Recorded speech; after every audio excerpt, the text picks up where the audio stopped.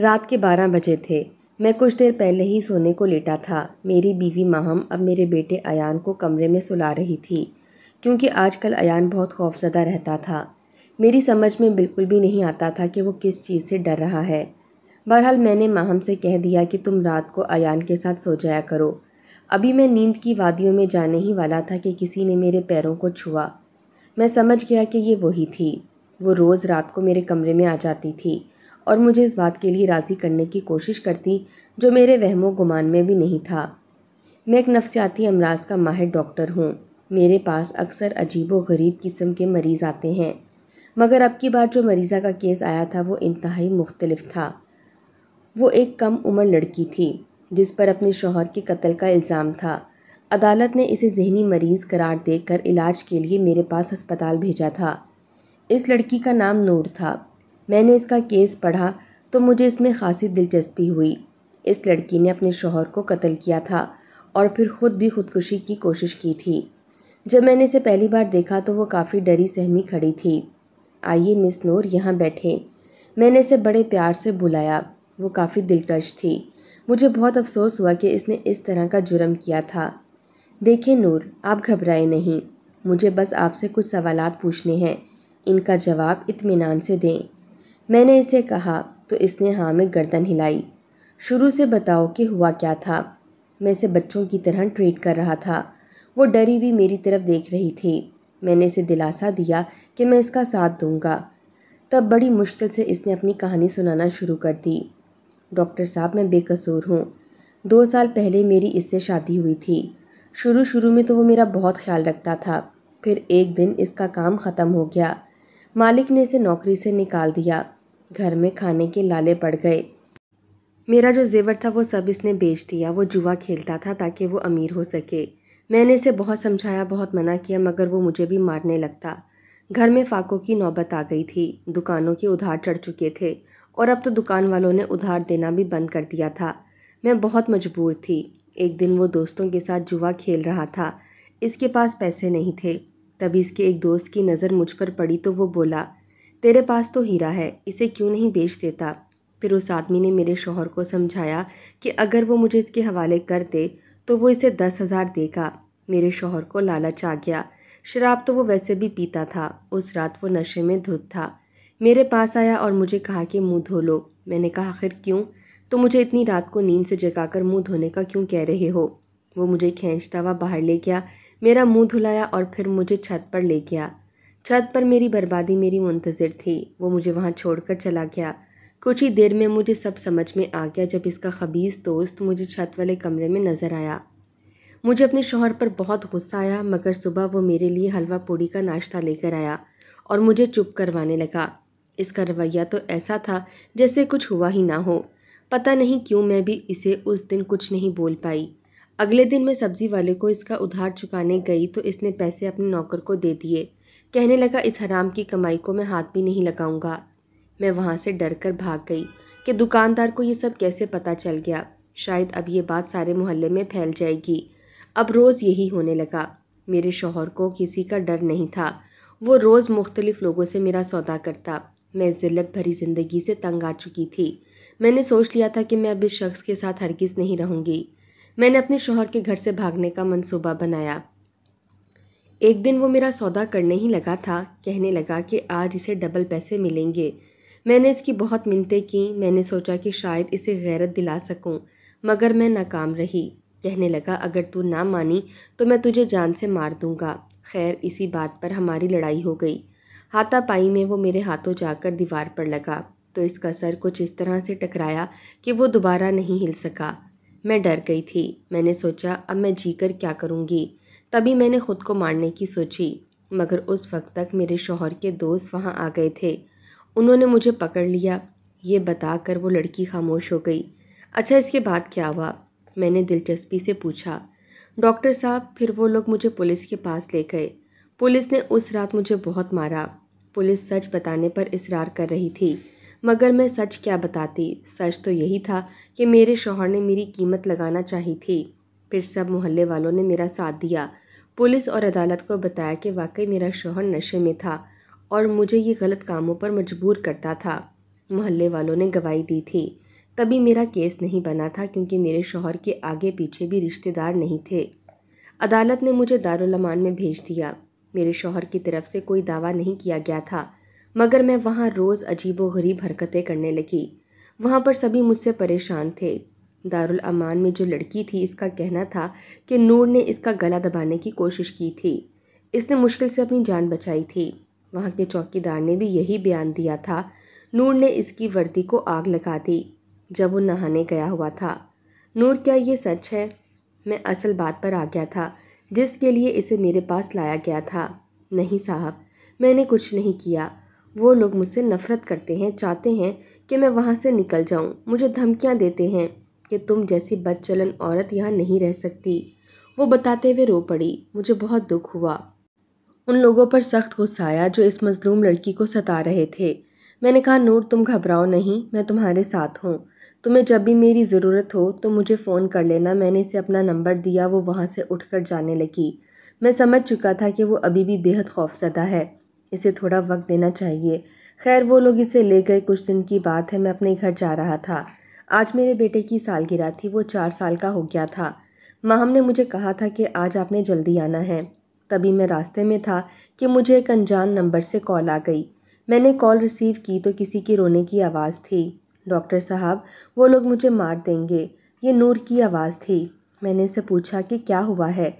इसने रोते हुए सिर्फ़ इतना बताया कि मैं जल्दी से इसके पास आ जाऊँ, क्योंकि वो बहुत तकलीफ़ और दर्द में मुबतला है। तभी मैंने कार वापस मोड़ी और दारुलमान की तरफ़ जाने लगा। मुझे सख्त गुस्सा था कि आखिर ये लोग इस बेचारी को तंग क्यों कर रहे हैं। मैं वहाँ पहुँचा तो अजीब मंजर देखा। वहाँ पर औरतों ने नूर को रस्सियों से बाँध रखा था। ये क्या बेहूदगी है? मैं उन औरतों पर चिल्लाया। मुझे देखकर वो कहने लगे, डॉक्टर साहब, ये औरत रोज़ रात को कुछ ना कुछ करती है। कभी किसी को जान से मारने की धमकी देती है तो कभी किसी का गला दबाती है। इसीलिए इसे शाम को ही हम बाँध देते हैं। मैंने इन्हें बहुत बुरा भला कहा और नूर को खोला। वो मेरे कदमों में गिर पड़ी। कहने लगी, डॉक्टर साहब, मुझे यहाँ से ले जाएँ। मैंने इसे चुप करवाया। कहने लगी, आप मुझे अपने घर ले जाएँ। मैं आपकी नौकरानी बनकर रह लूँगी। मुझ पर रहम करें। आपको आपके बच्चों की कसम, मैं सख्त गुस्से में था। मैंने नूर से कहा, तुम अपना सामान उठाओ और मेरे साथ चलो। नूर जल्दी से उठी, अंदर गई, कुछ कपड़े इसने अपने साथ रखे क्योंकि इसके पास यही कुल सामान था। मैंने इसे वहाँ से लिया और वहाँ से निकल गया। मैंने नोटिस किया था कि दारुलमान वाली औरतें बहुत खुश लग रही थीं कि वो जा रही है। मैंने इसे कहा, आज मेरे बेटे की सालगिरह है। तुम वहाँ कुछ नहीं कहोगी। सबको वही कहोगी जो मैं तुम्हें बताऊँगा। कहने लगी, ठीक है, डॉक्टर साहब, मैं वैसा ही करूँगी। मैं इसे घर ले आया। मैंने वहाँ माहम को बताया कि ये एक बेसहारा लड़की है। इसे घर के काम काज के लिए रख लेते हैं। इसे भी चार दीवारी मिल जाएगी और तुम्हारी हेल्प भी हो जाएगी। माहम ने इसे खुले दिल से अपने घर में जगह दे दी थी, क्योंकि वो बहुत नरम दिल थी। मगर मैंने इसे ये नहीं बताया था कि ये लड़की एक खून कर चुकी है। क्योंकि मैं इसे बताता तो शायद वो डर जाती। अब इसे काफ़ी दिन हो गए थे। हमारे घर में रहते हुए वो काम काज भी करती। मेरे बेटे अयान का भी बहुत ख्याल रखती। हम सब बहुत खुश थे। एक दिन मुझे महम ने बताया कि अयान को बुखार आया है। हम इसे डॉक्टर के पास ले गए। डॉक्टर ने बताया कि मामूली सा बुखार है। मैं घर पहुँचा तो महम ने बताया कि अयान को बहुत डर लग रहा है। आज मैं इसी के साथ सोऊँगी। मैंने कहा, ठीक है, तुम इसके पास सो जाओ। मैं थका हुआ था। सोने लगा तो मेरी आँख लग गई। आधी रात को मेरी आँख खुली तो देखा नूर मेरे कदमों में बैठी थी। मुझे देखे जा रही थी। मुझे बहुत अजीब लगा, क्या हुआ नूर? इस वक्त मेरे कमरे में क्या कर रही हो? साहब, आप मुझे बहुत अच्छे लगते हैं। नूर ने हँसते हुए कहा ठीक है, नूर, ठीक है। मगर इस वक्त तुम चली जाओ। तुम्हारा इस वक्त यहाँ होना ठीक नहीं। मैंने गुस्से से कहा, मगर वो उठी और मेरे कदमों में गिर गई। साहब जी, आप मुझसे शादी कर लें। ये क्या बकवास कर रही हो नूर? चली जाओ यहाँ से। इसकी बात सुनकर मैं घबरा गया था। अगर माहम ने इसे यहाँ देख लिया होता तो वो क्या सोचती? ऐसा तो ना कहें। मैं आपसे बहुत मोहब्बत करती हूँ। आप मुझसे शादी कर लें। वो यही बात बार बार दोहरा रही थी। मैं उठकर खड़ा हो गया और गुस्से से इसे वहाँ से निकलने का कहा। वो चुप करके चली गई। मैंने दरवाज़ा लॉक कर लिया। इसके जाने के बाद सर पकड़ कर बैठ गया कि ये कैसी बातें कर रही थी। मुझे तो बहुत डर लग रहा था। अब रोज़ यही होने लगा। माहम तो अयान के साथ सोती क्योंकि अयान रात को डर जाता था और माहम को अपने पास से हटने नहीं देता था। नूर को तो जैसे मौका मिल गया था। वो रोज़ मेरे कमरे में आती, मुझे अपनी मोहब्बत के कसीदे सुनाती। बहुत समझाया, कभी डराता, धमकाता तो कभी प्यार से, मगर वो कुछ सुनने को तैयार नहीं थी। रोज़ आकर मेरे सामने रोने लगती, रोज़ ये कहती कि, मैं आपसे बहुत ज़्यादा मोहब्बत करती हूँ। मैं डर के मारे इसे कुछ कह नहीं पाता था कि कहीं माहम को आवाज़ ना चली जाए। तब एक दिन इस लड़की ने अपनी औकात दिखा दी। बोली कि अगर मैंने इसे शादी नहीं की तो वो शोर मचाएगी, मेरी बीवी को बता देगी। कि मैंने इसकी इज़्ज़त पर हाथ डाला है। मैं हैरान रह गया। मैं सोच भी नहीं सकता था कि ये लड़की इतना गिर सकती है। उफ, खुदाया, मैं कहाँ फंस गया था? सुबह मैंने माहम से कहा कि वो अयान को लेकर पार्क घुमाने ले जाए। माहम अयान को लेकर बाहर चली गई। मैंने उसी वक्त नूर का हाथ पकड़ा, इसे खींचता हुआ घर से निकाला और गेट से बाहर धक्का देकर कहा, खबरदार, अब जो तुमने इस घर में कदम रखा, मुझसे बुरा कोई नहीं होगा। ये कहकर मैंने गेट बंद कर दिया। खुद कार पर बैठकर अस्पताल रवाना हो गया। शाम को आया तो देखा वो अब भी मेरे घर में मौजूद थी। मैंने इसे देखकर कहा, तुम अभी यहाँ मौजूद हो? तो महम बोली, क्या हुआ फुरकान? इस बेचारी से एक गुलदान ही क्या टूटा? आपने इसे घर से ही निकाल दिया। आप इतने जालिम कैसे हो सकते हैं? ये बेचारी सड़क पर बैठी रो रही थी। मुझे अजीब निगाहों से देख रही थी। माहम, तुम समझ नहीं रही हो। इसका यहाँ रहना ठीक नहीं है। आप ऐसा कैसे कह सकते हैं? पहले खुद ही इसे सहारा देकर घर लाए थे और अब इसे निकालने की बात कर रहे हैं। वो इसका हाथ पकड़कर बोली, वो मेरी बात को सुनी अनसुनी कर गई थी, जबकि आज रात फिर ये लड़की मेरे कमरे में आकर मुझसे शादी की बात कर रही थी। मैंने कहा, अब मैं तुम्हें पुलिस के हवाले कर दूँगा, अगर तुमने मुझे मजबूर किया। तुम कुछ साबित नहीं कर सकते। अगर तुमने मुझसे शादी ना की ना तो तुम्हारी बीवी और बेटे को मार डालूँगी। इल्ज़ाम तुम पर आएगा। तुम्हारे बेटे को मैंने ही डराया है। देखो तो मेरे डराने से कितना डर गया है। तुम क्या समझते हो? मैं इसे मार नहीं सकती। वो शैतानी मुस्कुराहट लिए मुझे कह रही थी। नूर, तुम ऐसा क्यों करना चाहती हो? मैंने इसे उलझ कर पूछा। डॉक्टर साहब, मैं तो आपसे सिर्फ़ शादी करना चाहती हूँ। अब मैं समझ चुका था कि इसने खुद ही अपने शोहर को कत्ल किया था और सबके सामने मजलूम बनी हुई थी। मोहल्ले वाले भी इसके झांसे में आ गए थे। इसने जितने झूठ बनाए होंगे, हर कोई इसकी बातों में आ गया होगा। यहाँ तक कि मैं भी। इसने दारुलमान में भी सबके साथ ऐसा ही कुछ किया होगा। तभी तो वो लोग इसे इतने खौफजदा थे। अब बात ये थी कि मैं भी इस लड़की से डरने लगा था। मुझे अपनी बीवी और बच्चे की फ़िक्र हो रही थी, क्योंकि ये लड़की कुछ भी कर सकती थी। मैंने मजबूर होकर इसके सामने हथियार डाल दिए। सुनो, मैं तुमसे निकाह करने को तैयार हूँ, मगर तुम किसी को बताओगी नहीं। वो बहुत खुश हुई। ये बात सुनकर वो यहाँ से चली तो गई थी, मगर मेरी नींद हराम हो गई थी। अगले रोज़ मैं इसे बहाने से बाहर ले गया, वहाँ पर मस्जिद में मैंने इसके साथ निकाह कर लिया। अब ये लड़की बहुत खुश थी। वादा किया कि मेरे बीवी और बच्चों को कोई नुकसान नहीं पहुँचाएगी। मैं इसे बहुत समझाता कि ये बात किसी को मत बताना, क्योंकि मैंने मजबूरी में तुमसे निकाह किया है, वरना मैं अपनी बीवी से बेहद मोहब्बत करता हूँ। मैं इसे घर लेकर आ गया। मैं बहुत मुश्किल में आ गया था। अब तो वो धड़ल्ले से मेरे कमरे में भी आने लगी थी। मैं इसे निकाल नहीं पाता था। दो दिन के बाद इसने माहम को भी बता दिया कि इसने मुझसे निकाह किया हुआ है। माहम ने इसका यकीन नहीं किया। तब उस लड़की ने कहा कि अगर यकीन नहीं आता तो अपने शोहर से पूछ लो कि इसके पास मैं रोज़ रात को क्यों जाती हूँ? वो हंसने लगी तो इसकी बातों पर माहम भी गुस्सा हो गई। मेरे पास आ गई और कहने लगी सच सच बता दो कि सच क्या है? मुझे नूर से ये उम्मीद नहीं थी। मैंने सोचा था कि शायद वो सच में मुझसे प्यार करती है। तभी इसने मुझसे निकाह किया था और ये किसी को नहीं बताएगी। मैं बहुत परेशान हो गया था। माँ, हम मेरी बात समझने की कोशिश करो। मैं ये सब नहीं करना चाहता था। इसी ने मुझे मजबूर किया था।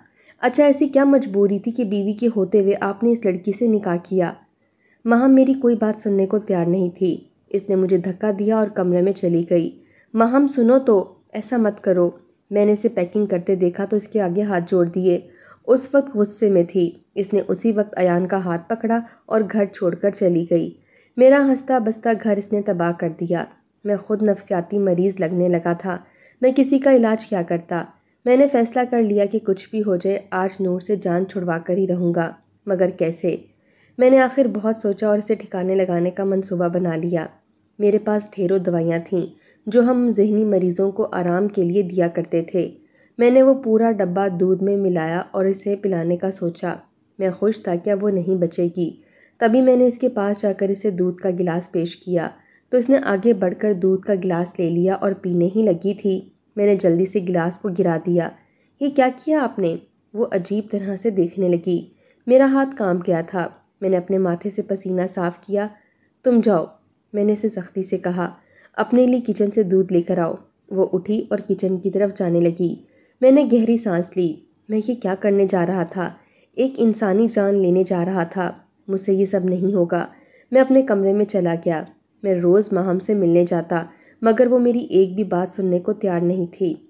मैंने इसे सच बताया कि इस लड़की ने मुझे किस तरह से ब्लैकमेल किया था। अपनी गलतियाँ इसके सर पर मत डालें, फुरकान।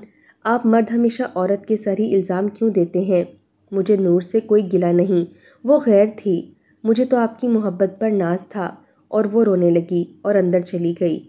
दूसरे दिन इसने मुझे खुला का नोटिस भेजा। तो मैं हैरान रह गया कि वो ऐसा कैसे कर सकती है। मुझे कुछ ख्याल नहीं था, इसे तो हमारे बच्चे का भी ख्याल नहीं था। मैंने इसे कॉल की, ऐसा क्यों कर रही हो? अयान का ही कुछ सोचो। मगर वो कुछ सुनना नहीं चाहती थी। इसने फ़ोन काट दिया था। मगर फिर अयान की गवाही ने मुझे सच्चा साबित कर दिया। महम जो अयान को डराती थी, वो बच्चा था। इसने साफ़ साफ़ एक एक लफ्ज़ अपनी माँ को बता दिया। ये सुनकर माँ भी परेशान हो गई। मगर दूसरी तरफ़ मैं इस बात से बेखबर था। मुझे नूर पर बेहद गुस्सा आ रहा था। मैंने महम को मैसेज किया कि आज मैं नूर को ज़िंदा नहीं छोड़ूँगा। मगर शायद महम ने मेरा मैसेज नहीं पढ़ा। इसने पुलिस को कॉल कर दी और सब कुछ बता दिया कि किस तरह नूर मुझे ब्लैकमेल कर रही थी। उसी वक्त पुलिस मेरे घर की तरफ़ रवाना हो गई। उस वक्त मैं अपने कमरे में था कि मुझे कुछ आवाज़ सुनाई दी। मैं बाहर भागा तो मुझे नूर फर्श पर पड़ी हुई मिली। इसके सर से खून निकल रहा था। मैंने इसे बहुत आवाज़ें दी मगर वो मर चुकी थी। सीढ़ियों पर पानी गिरा हुआ था। नूर जो भागते हुए चढ़ती थी, अपना बैलेंस कायम न रख पाई। फिसलते हुए वापस नीचे आई थी, जहाँ सीढ़ी का कोना इसे लगा था। इसके सर के बीच में सुराख हो गया था। वो मौके पर दम तोड़ गई थी। मैं इसे हैरत से देखे जा रहा था। वो लड़की जिसे मैं खुद मारना चाहता था, मगर मार नहीं पाया था। वो इतनी आसानी से मर गई थी। न जाने क्यों मेरी आँखों में आँसू से आ गए। वो भी एक इंसान थी। मैं वहीं बैठा था कि महम की आवाज़ आई, फुरकान? वो मुझे हैरत से देख रही थी। ये क्या किया आपने? वो नूर की तरफ़ इशारा कर रही थी। मैंने कुछ नहीं किया। महम तो मुझे गलत समझ रही हो। वो मुझे मुलामती नज़रों से देखते हुए बोली मैंने सोचा भी नहीं था कि आप इतने सफाक हो सकते हैं। महा मैंने कुछ नहीं किया। मैंने चिल्लाते हुए कहा अच्छा तो आप ही ने तो मुझे मैसेज किया था ना, कि आप नूर को मारने जा रहे हैं। मेरा यकीन करो, मैंने इसे खुद नहीं मारा। ये सीढ़ियों से गिरी है। मैंने महम से कहा, इसे कस्में देने लगा। मेरे बच्चे की कसम, आपने मुझे मैसेज किया था। महम बार बार एक ही बात पर अटकी हुई थी। पुलिस मुझे पकड़ कर ले गई। और यूँ मुझे मेरी नेकी ही गले पड़ गई।